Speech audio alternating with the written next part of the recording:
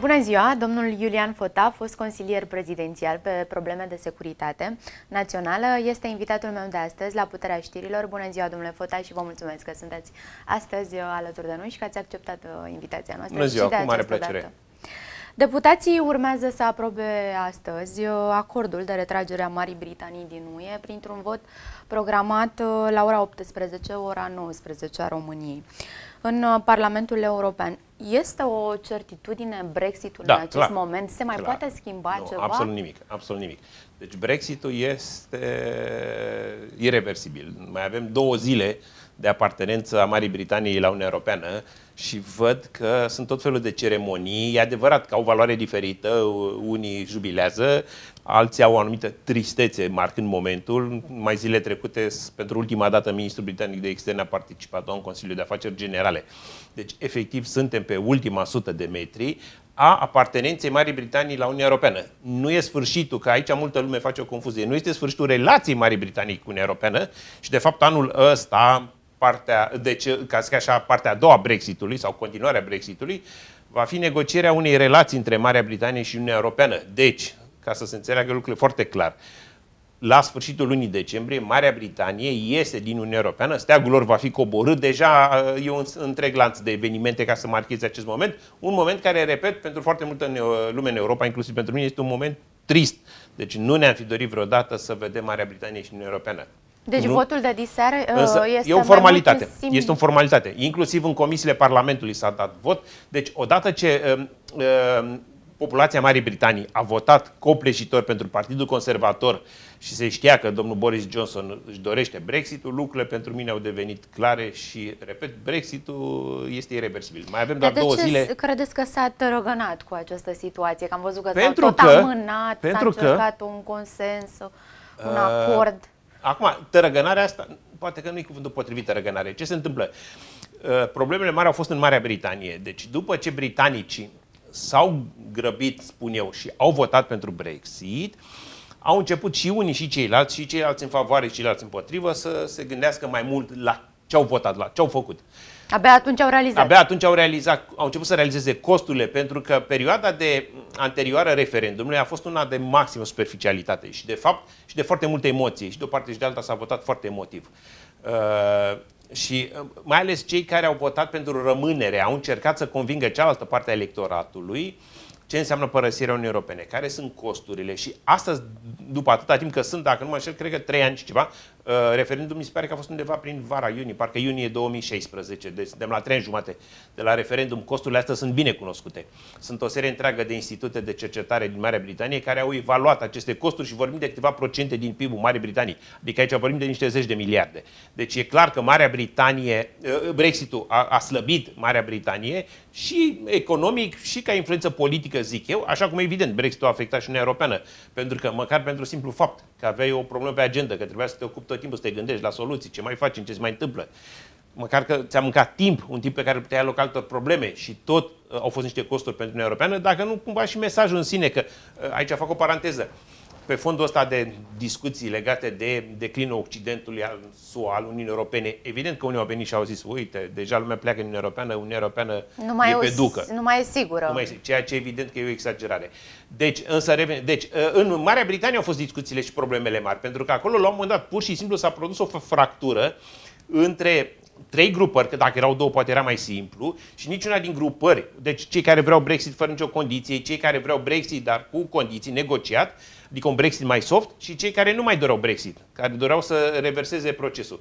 E bine, niciuna din aceste trei grupări nu avea majoritatea să impună direcția și efectiv cred că vreun an jumate, poate doi, Marea Britanie, și un termen nu prea academic, dar foarte popular, a băltit a fost incapabilă să meargă într-o direcție. Pur și simplu se certau în interior între ei încotro să meargă Marea Britanie. Și lucrurile astea au fost tranșate de-abia în toamna anului trecut, când, uh, surprinzător că nu m-am așteptat nici eu, ca Boris Johnson să aibă o victorie atât de categorică. Probabil că englezilor le-a ajuns și au zis, ok, mai bine Brexit decât să băltim așa.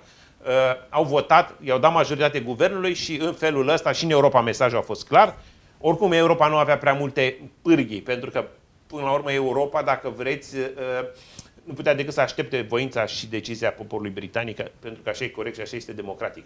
Europa, dacă e să discutăm, a făcut o greșeală în, prea, în, ref, în timpul referendumului, de fapt în perioada pre-referendum. Atunci ar fi trebuit să vorbească și Europa. Ce greșeală? Să, nu, să le spună. Și asta, ă, ă, aspectul ăsta e subliniat însă și de președintele Comisiei Europene, de domnul Juncker, care a spus clar, trebuia să ne implicăm, trebuia să le spunem britanicilor ce înseamnă ieșirea din, din Uniunea Europeană, trebuia să venim și noi cu cifrele noastre. Pe ideea că țările nu se amestecă unele în treburile celorlalte, nu s-a întâmplat nimic pe zona asta și multă lume regretă chestia asta, inclusiv și eu cred că principiul important dar uneori, când e spre binele comun, principiu, trebuie să fii flexibil în interpretarea acestor principii și poate că dacă Uniunea Europeană vorbea în prealabil, votul a fost strâns la referendum. Poate că n-am fi avut rezultatul ăsta de ieșire din uh, Uniunea Europeană a Marii Britanii. Dar cine pierde și cine câștigă din Deocamdată ieșirea Marii toți. Britanii din UE? Deocamdată nu avem Inclusiv câștigători. Marea Britanie Inclusiv, pierde. în special Marea, deci a spune că în special Marea Britanie pierde. De ce pierde Și Marea Britanie? Avem pierderi deja calculate, evaluate destul de exact pe zona economică și avem și pierderi, dacă vreți, pe zona politică. Păi de ce pierde? În primul rând, Uh, și acum noi emitem aici niște teorii. Teoriile astea urmează să fie confirmate, ca orice altă teorie din zona relațiilor internaționale, urmează să fie confirmate în viitor. Dar de ce pierde Marea Britanie? Pentru că, vedeți, suntem într-o epocă în care contează numerele, contează populația, contează dimensiunea economiei. Suntem într-o epocă de mare competiție globală. Actorii mari sunt China, un miliard jumate de locuit, nu? Statele Unite, spre 300 ceva spre 400 de milioane, deci o țară cu, cu uh, uh, o populație uh, mare. India, un miliard și ceva. Avem țări precum Indonezia sau Brazilia, 200 de milioane, 180 de milioane. Adică trăim într-o epocă în care contează dimensiunea uh, uh, ta demografică, pentru că asta înseamnă și o economie substanțială. Ori în contextul ăsta, gândiți-vă că în Europa, marea majoritate a țărilor, chiar țările mari, sunt tot, totuși la nivel global țări mici. Adică Germania e cea mai uh, largă, uh, are cea mai largă populație, cea mai mare țară din UE, sunt undeva la 80 de milioane de locuitori. Marea Britanie, dacă nu mă înșel, 50 sau 60 de milioane pe aici pe undeva. Păi gândiți-vă ce înseamnă o țară și o economie de 50 de milioane când tu trebuie să ai de-a face cu economii de 300 de milioane, 200 de milioane sau un miliard, ca să mai vorbiți de China sau India. Deci, Marea Britanie, cred eu că prin Uniunea Europeană ar fi avut uh, mai multă influență internațională și mai multă putere. Se știe că organizațiile internaționale sunt multiplicatoare de putere, deci ele îți sporesc puterea. Ieșind din Uniunea Europeană, ea în momentul ăsta este o țară, repet, de 50-60 de milioane de locuitori, care va trebui să negocieze și ea vrea să negocieze de la egal la egal. Ori, în termen de putere reală, lucrurile astea nu prea se întâmplă. Adică dacă eu vin cu o economie de 50 de milioane și tu ești o economie de, cum, e stat, cum sunt Statele Unite, 300 ceva de milioane, N-are cum să fie negocierea egală. Inevitabil, economia mare. Pornești cu un minus. Da, pentru că e o relație asimetrică. Adică, cu alte cuvinte, știți, ăla mare se poate lipsi de la mic. Ăla mic nu se poate lipsi de la mare. Adică economia americană e mult mai importantă pentru Marea Britanie decât economia britanică pentru America.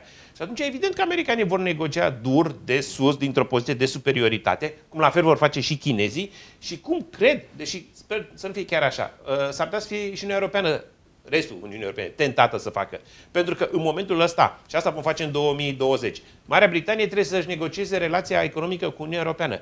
Păi, noi rămânem în continuare o economie de 400 și ceva de milioane de locuitori, fără Marea Britanie, dar suntem în continuare 400 și ceva de milioane de locuitori, iar Marea Britanie e o țară de 50 de milioane. Cine de cine are nevoie? Adică eu cred că Marea Britanie dintr-un amestec de superficialitate, de nostalgie imperială, de, de dacă vreți, fudulie Uh, uh, socială, a, a, a luat totuși o decizie uh, greșită. Dar, în fine, vom vedea. Uniunea Europeană rămâne în continuare deschisă și sper să avem o relație foarte bună ca Uniunea Europeană, așa cum să nu uităm un lucru apropo de Brexit.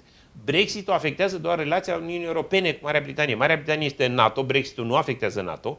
Marea Britanie rămâne în continuare un aliat loial și fidel și vedeți, fiecare țară aici, că, mm, și asta e important de spus, încercăm să, să compensăm Brexitul bilateral. Poate l-ați văzut pe președintele Claus Iohannis, spunea acum vreo, cred că vreo două săptămâni, 10 zile, că în momentul ăsta se lucrează la consolidarea parteneriatului bilateral strategic între România și Marea Britanie. Adică putem parțial măcar ce pierdem în relația UE Marea Britanie, compensa pe relația bilaterală. Dacă Marea Britanie se îndepărtează de UE, adică se a ieșit cu totul, hai să vedem cum putem apropia noi România, Marea Britanie de România, noi.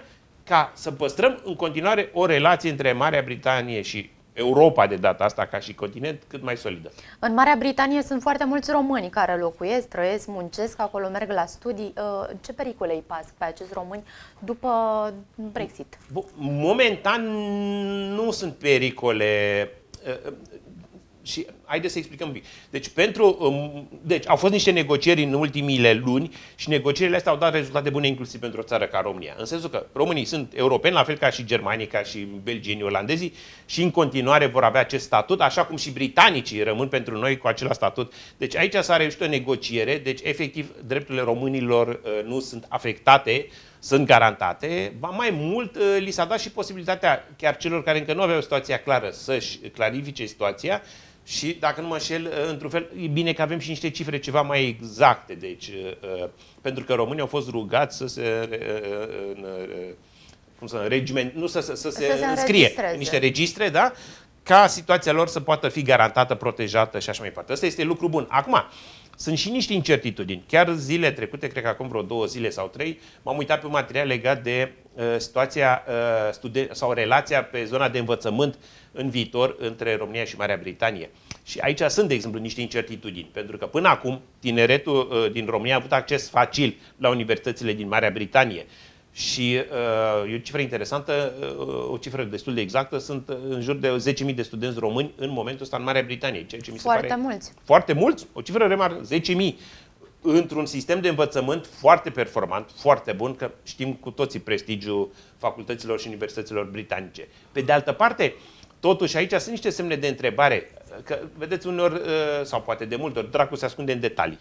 Și rămâne să vedem dacă în viitor și prin prisma negocierilor care vor urma între Marea Britanie și Uniunea Europeană, accesul studenților sau accesul tinerilor români în uh, învățământul din Marea Britanie va fi la fel de facil ca și până acum. Mai ales că e și un aspect uh, financiar aici, totuși costurile de învățământ în Marea Britanie, comparativ cu Statele Unite, de exemplu, sunt accesibile. Adică avem uh, cam în jur de 9.000 de euro, 9-10.000 de euro anul de masterat, ceea ce e cum să, o treime din ceea ce avem, de exemplu, prin Statele Unite, asta presupunând că tinerii nu au acces la burse. Nu mai vorbesc de faptul că uh, guvernul britanic a oferit foarte, foarte generos și în condiții bune împrumuturi pentru acești studenți, urmând ca ele să fie uh, returnate după absolvirea facultăților. Deci, nu sunt vești proaste în momentul ăsta și românii își păstrează statutul de europeni, cum și britanicii vor face în Uniunea Europeană, dar pe diferite domenii, și am dat exemplu învățământului, sunt anumite semne de întrebare și trebuie să vedem un picuț cum merg negocierile pentru a ne păstra, după părerea mea, șansele pentru tinerii români să studieze în Marea Britanie. Pentru că ăsta este un câștig și pentru ei personal, dar este un câștig și pentru România. Din 10.000, gândiți-vă dacă unul din 10 se întorc, tot am avea o mie de oameni pregătiți în facultăți de mult mai bună calitate care ar reveni în România. Deși eu cred că rata de întoarcere este ceva mai mare. Adică la 10.000 de studenți în Marea Britanie și dacă rămân o parte acolo și vor rămâne, și asta nu știu dacă e un, nu, eu nu privesc ca un lucru rău, tot vom avea uh, uh, un număr de studenți români bine pregătiți care se vor întoarce și aici. Dar vă aștepta să se întoarcă după da, Brexit, unii dintre ei, da. studenții da. Nu, unii vin, unii vin, pur și simplu vin că vor acasă, vin, uh, până la urmă eu sunt un exemplu, e adevărat, vechi, de pe la începutul anilor 90, când lumea ne ni s-a deschis brusc și aș fi putut, am colegi care au plecat în Canada, am colegi care au emigrat ușor de tot în Australia, chiar îmi spunea cineva, acum ca o paranteză, de ce înseamnă globalizarea asta, într-un, în, în, într-un orașel mai mititel al, Marii, al Australiei, unde au fost și acolo incendii, din păcate, Perth, un, un oraș, cred că e cel mai sudic oraș al, al Australiei, și acolo există o comunitate de 2000 de români, efectiv, la capătul pământului pentru noi. Deci pe cealaltă emisferă, în sudul Australiei, sunt două, într-un orașel de vreo 100 și ceva de mii de locuitori, e o comunitate de 2000 de români. Mi s-a părut o cifră absolut extraordinară. Deci, deci uh, în continuare uh, uh, o să avem aspectul ăsta al românilor care trăiesc în străinătate. Dar o parte din ei eu cred că vor veni. Pentru că vor, pentru că și în România acum sunt mult mai multe oportunități decât în trecut, pentru că s-a mai redus diferența de calajul și încep să apară avantaje. Uitați-vă la doctor, de exemplu, cu creșterea asta salariilor cu faptul că ai aici casa, ai prietenii, părinții, nu mai e atât de atractiv să pleci la un salariu mai mare în și Occident. Și să fii departe și Pentru de că acolo ai salariu mai mare, exact. adevărat. Și diferența o să rămână. Dar mai apare cheltuieli cu casa, provizoratul, distanța de familie. De... Adică niște lucruri încep să se compenseze. Și cred că și măcar o treime din ei, dacă s-ar întoarce, la 10.000, o treime înseamnă 3.000 de studenți bine pregătiți în Occident. Problema e la noi, cum îi valorifici, să nu ne batem joc de ei, pentru că altfel uh, ei cred că reprezintă o șansă pentru noi. Plecarea Marii Britanii din UE poate crea un precedent uh, periculos. Nu, poate nu. alte state să Ne-am ia temut. exemplul uh, Marii Nu, nu. Britanii și Eu nu să-și cred. dorească în viitor uh, să părăsească Uniunea Europeană. Ne-am temut de acest aspect. Ne-am temut în primul rând când, s-a, când a fost uh, criza din Grecia. La un moment dat grecii, în specialitatea lor, cochetau cu această idee. Uh, ulterior, când a venit și discuția asta din Marea Britanie și când oamenii au înțeles consecințele, costurile, lumea s-a potolit. Aveam, de exemplu, țări precum uh, Franța sau uh, uh, Olanda, țări care, de exemplu, au votat uh, potriva Constituției Europene la, la referendum de acum vreo, cred că 8-9 ani deja, că timpul uh, trece repede. Ei bine, ce vedem în momentul ăsta nu se mai gândește nimeni la ieșirea din Uniunea Europeană, pentru că asta costă. Și te sancționează uh, economia globală, piețele te sancționează, tu pierzi. Nu există, din câte se pare, și poate că așa a fost construită Uniunea Europeană, adică nu întâmplător se întâmplă lucrul ăsta, nu există o soluție de ieșire în Uniunea Europeană care să te avantajeze, să te ducă pe plus. Marea Britanie, repet, în momentul ăsta, prin ieșirea din uh, Uniunea Europeană, e pe minus. Marea Britanie, ieșind din Uniunea Europeană, a pierdut câteva zeci de miliarde de uh, pounds, ca să vorbesc în moneda lor, și rămâne să vedem un picuț ce mai aduce și uh, uh, viitorul. Deci eu cred că costurile mari ale, ale unei ieșiri din Uniunea Europeană a potolit lumea și oamenii acum au pre- alte preocupări, alte idei, dar uh, nu, nu numai. Și știți unde se vede foarte bine? Chiar pe zona asta de, de nu de provinciali, de separatism. Vezi Catalunia sau vezi uh, Scoția ăștia, uh, sau cei care agită această idee a ruperii de Spania sau ruperii de Marea Britanie, imediat vin și spun că ne rupem, dar vrem să rămânem în Uniunea Europeană. Adică ei vor să plece din Spania, dar nu vor să plece din Uniunea Europeană, ceea ce evident că nu e chiar posibil, pentru că uh, tu dintr-o dată ai fi altă entitate și atunci mulți spun, domnule, trebuie să iei de la început cu aderare, cu condiții, cu... Deci, povestea asta cu uh, tentația de a ieși din Uniunea Europeană nu mai are oamenii raționali și întregi la minte. Că așa tot felul de, de extremiști bătuți în cap ca să aiurite anarhiști ori să o rostogolească în continuare. Dar, repet, în termeni economici, ieșirea este sancționată. Deci ești pedepsit prin costuri mari și eu nu cred că e vreun guvern întreg la minte care să-și asume așa ceva. Mutăm uh, discuția pe un subiect care a alarmat o lume întreagă, acest coronavirus care aparent uh, începe să se răspândească și în Europa. Am văzut că aseară în, uh, a apărut Subiectul al ăsta a treilea... alarmat uh, media, că media a găsit o modalitate să mai facă un pic de rating. Nu toată lumea e alarmată de subiectul ăsta și vă spun și de ce. Păi nu e prima dată când ne confruntăm cu ideea sau cu perspectiva unei pandemii. Și acum nu știu ce vârstă aveați dumneavoastră în 2009, sunt deja 10, 11 ani de atunci, dar eu am participat la o ședință XAT în 2009 în România, convocată de președinte Traian Băsescu, pentru a studia chestiunea gripei aviare. Deci la vremea respectivă a fost o teamă, teamă bine conturată în Europa, că e posibil să ne confruntăm cu o astfel de epidemie. Uh, O precizare, dacă vreți, tehnică. Pandemia este epidemia de nivel global sau de nivel regional. Deci pandemia este o epidemie care se întinde la scară mare. Deci în 2009 noi am avut această confruntare uh, și ne-am temut, toată Uniunea Europeană s-a temut, că s-ar putea să ne confruntăm cu o epidemie de gripă aviară. Bun, nu ne-am, uh, n-am trecut prin așa ceva, pentru că virusul ăla nu, s-a, n-a produs, uh, uh, nu s-au produs mutațiile. Aici e o întreagă teorie pe care nu m-aș băga prea tare în ea, că aici e vorba de biologie, chimie, de alte domenii pe care nu le stăpânesc. Da, vedeți și în, și în această situație de coronavirus, lumea s-a uitat foarte atent la acest aspect, în ce măsură virusul ăsta a trecut de la animal la om și cât de lejer, cât de rapid virusul trece în momentul ăsta de la om la om, pentru că asta ne spune ceva de cât de agresivă este epidemia și cât de repede s-ar împrăștia, uh, uh, cât de contagioasă ar fi și cât de repede s-ar împrăștia virusul prin lume. Deci, uh, cei care ne-am mai ocupat de securitatea națională, cei care au mai studiat un pic cu relațiile internaționale, știm de câțiva ani buni că ăsta este un pericol cu care trebuie să ne împăcăm, pe care trebuie să-l gestionăm, dar care plutea undeva la orizont. Aduceți-vă aminte, poate acum vreo 2 ani am avut o, gri- o epidemie de Ebola în Africa. Am avut SARS-ul și MERS-ul în, ori- SARS-ul în, în, în China, Hong Kong, acum vreo, era pe primul Adrian Stasecă. Atunci a fost un moment important când a făcut un gest față de China el ca premier, deci vorbim de perioada 2000-2004. După aceea am avut MERS-ul care a fost în Orientul Mijlociu.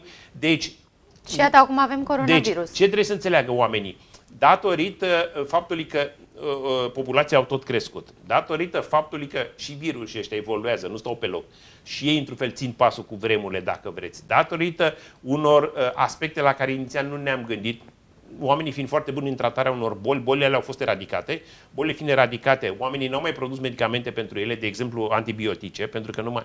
Și ne, ne dăm seama acum că, pe de-o parte, virusii ăștia au continuat să evolueze, s-au adaptat, sunt mutanți, uh, încep să treacă de la animal la om, iar pe de altă parte noi nu prea avem instrumente pentru combaterea lor, că sunt virus noi, nu i-am studiat și nici de producția de antibiotice n-am mai modernizat-o, că dacă n-au mai fost boli, n-au mai fost nevoi. Adică aici se și combină, dacă vreți, niște evoluții sociale de gen globalizare, interdependență, cu niște evoluții economice care și-au pus amprenta asupra industriei de medicamente. Acum deci, au apărut și tot felul de teorii ale conspirației. Deci, numai o secundă, terminăm. Deci, de ce e lumea un picuț atentă și chiar vedeți uneori, deși senzația asta de panică, eu cred că presa o exagerează și bun. Evident că e o poveste pe care o ai și poți să o exploatezi, să dea și un pic de rating.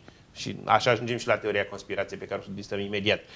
Dar eu cred că, uh, datorită acestor combinații, lumea începe să fie ceva mai atentă și eu cred că ce se întâmplă în China o să râdeți de mine, poate e de bine. Nu mă aștept să fie o amenințare directă ce se întâmplă în China pentru noi. Eu cred că chinezii vor reuși să stabilizeze și să controleze răspândirea virusului, iar România, țineți cont că are un mare avantaj. Noi nu avem zboruri directe cu China. Deci la noi toate legăturile cu China sunt prin intermediari. Ori intermediarii constituie un filtru foarte bun. Vedeți ce mai dau televiziune, că nu știu cine a ajuns la autopen, nu știu ce grup de prin românesc. Chiar astăzi 8 tineri am văzut și eu Bun, pe știri. Au ajuns. Oamenii nu au venit direct în România din China. Oamenii au venit pe o legătură, nu știu, Frankfurt, Viena, pe unde au fi făcut ei tranzitul. Și deja ei acolo sunt, sunt uh, verificați, sunt supuși unor controle. Deci acest lucru... Deci riscul este... e tot mai mic. Deci riscul, asta vreau să spun, pentru România, riscul de uh, uh epidemie este unul scăzut. Deci poate e mai, mai crescut decât pentru Statele Unite, că ei au și două oceane sau au un ocean între ei și China, dar nu e, nu e atât de mare, de exemplu, cum e pentru Hong Kong, pentru Thailanda, țările care sunt imediat, pro- Japonia, Corea de Sud, țările în proximitatea Chinei. Pe de altă parte, ce trebuie noi să pricepem? Ăsta este un risc permanent, deci ne vom confrunta cu el și în următorii ani. Pentru că aici e vorba și de biologie, de natură și nu prea ai cum să lupți împotriva naturii. Nu poți decât să o înțelegi să... și vedeți că deja virusul e aproape la, la un pas să fie, studie, să fie identificat corect. Înțeleg că deja sunt perspective de vaccin, vorbește lumea de 3 luni, 4 luni, ceea ce dintr-o dată înseamnă un pas mare înainte. La SARS, ca să vă dau un exemplu, vaccinul a venit după 20 de luni. Deci s-a declanșat epidemia, au identificat virusul, au cercetat, vaccinul a apărut pe piață după 20 de luni. Păi deja vorbim de 3-4 luni, adică ne un an și ceva și mai puțin. evoluția tehnologiei Pentru că învățăm. De la, de la epidemie la epidemie am învățat, am pus procedurile la punct. Acum nu mă refer neapărat la România, că aici trebuie să spunem un lucru. Părerea mea că în România mai sunt niște lucruri de făcut.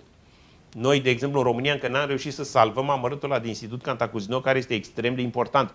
Adică după toată epidemia sau pandemia asta, când ea se va opri, că eu mă aștept ca într-o lună, două, lucrurile să fie sub control și uh, uh, intensitatea, dacă vreți, răspândirii să scadă, noi ar trebui, ar trebui să tragem niște lecții de aici. Mai avem trei minute și vorbeam de deci teoria conspirației nu e de luat. Nu, nu e o pro... Teoria conspirației înseamnă subcultură sau incultură sau mediocritate. Deci nu merită să pierdeți vremea unei emisiuni care se dorește a fi importantă cu teoria ale conspirației că nu avem ce De ce apare un astfel de Pentru că sunt oameni proști peste tot în lume, iar în România, din păcate, nivelul de incultură fiind ridicat, că pe niște valori sociologice se știe că o treime din români, cum să spun, sunt deschiși spre teoria conspirației, deci e o formă de incultură, deci e spre rușinea. Deci faptul că discutăm și că avem oameni care cred în teoria conspirației este spre rușinea noastră. Deci nu e un element de merit, nu e un element de performanță intelectuală. Asta e, România e o țară în care oamenii citesc puțin, avem statistici care ne arată că citim mult mai puțin decât restul europenilor, cumpărăm Luăm mai puțină de carte. tot ce ni se deci, oferă. Și din cu atâtea emisiuni cu astrologi și tot felul de alți impostori, că aproape că nu e post de televiziune care să nu aibă o emisiune de asta de 2 bani, de ce ne mirăm? Dar asta este spre rușinea noastră ca națiune, nu e spre lauda noastră. Domnule Iulian Fota, eu vă mulțumesc pentru prezența dumneavoastră alături de noi și vă mai așteptăm cu mare drag de fiecare dată. Oricând. Mulțumim!